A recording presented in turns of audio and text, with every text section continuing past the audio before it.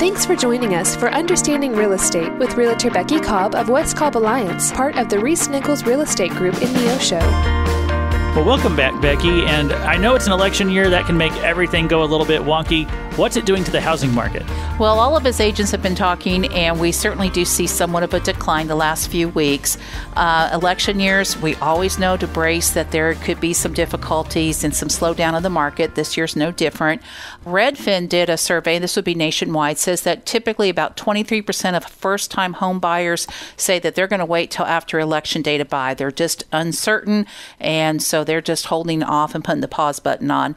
Uh, history also shows that sales tend to rebound after the election year is over and may increase as much as 82% during the next year. So we may see a little bit of a downtrend right now, but it's not going to last. One of the local lenders recently told me that they're expecting to see a large number of refis from December through March. So slow now, but it's not going to stay that way. No, that's good to hear.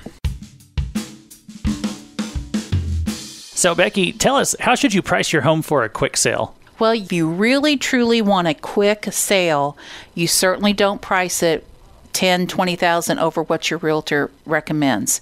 You want to come in on the low side for a quick sale. And one of the benefits we've seen in the last few years is if you're a little bit on the low side when you price your property, you're more apt to get multiple offers. Multiple offers will drive the price up. Quick sale, if you're serious about it, we got to get rid of this. We don't want to do any repairs, whatever your motivation is for getting it gone you don't price it high, you price it low, and you listen to your professional real estate agent who will give you guidance based on the current market values for your area. So, this morning, Becky, tell us about how open houses benefit sellers. It's funny you would ask that question because I've just had that conversation with some of my sellers multiple times this week. I will say one of the biggest advantages is we're going to focus a little bit more on extra advertising for our sellers during the week leading up to an open house. So, that is one thing. You're going to be in the market more, you're going to be more on social media, more visible. So, that's great. The other thing is sometimes sometimes the people that are going to come through your house, they're going to be the neighbors. They're going to be just curious people, but that's okay because those people will talk to other people.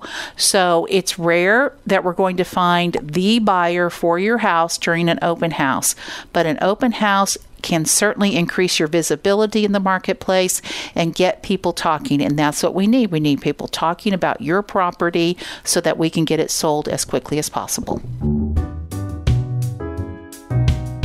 So, Becky, if you're trying to sell your house, how can you enhance the curb appeal? You know, curb appeal is very, very important. You imagine driving by a house, and what you see on the outside is you see chippy paint, you see maybe old furniture, a car up on blocks.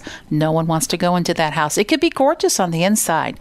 So, you really have to take a critical look at the outside of your home and take into consideration what someone may see if they just decide to drive by your home. I can't tell you how many times I've had someone drive by a house and they said, No, we don't want that. Doesn't look like it would be right for us. And I know it would be great for you. So, making sure that windows are clean, uh, seasonal uh, flowers, or you were getting close to Christmas, you know, nice, classy decorations. Don't go overboard with too many twinkling lights, but a few that could be really nice. So, you want to make sure things look sharp. Also, this time of year, keeping the yard raked, and uh, it just needs to look nice and neat. And that is like the first welcome you're giving someone to come into your home. Well, sometimes you see a listing that says rent to own. What does that mean?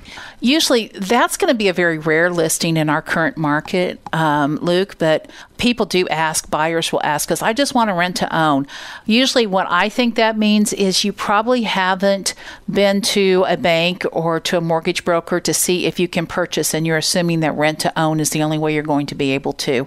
Uh, truthfully, on a rent to own, they're going to ask you for a fairly large down payment, anywhere probably from 10 to 20 percent of the asking price of the property, and uh, then you're going to, you know, if most people can't even get through that process, and then you're going to be making a monthly payment, and if you mess up, you might get kicked out, and you have very little recourse uh, to fight that. We do have uh, some situations in the area where people think they're buying a home, and really it's just glorified rent.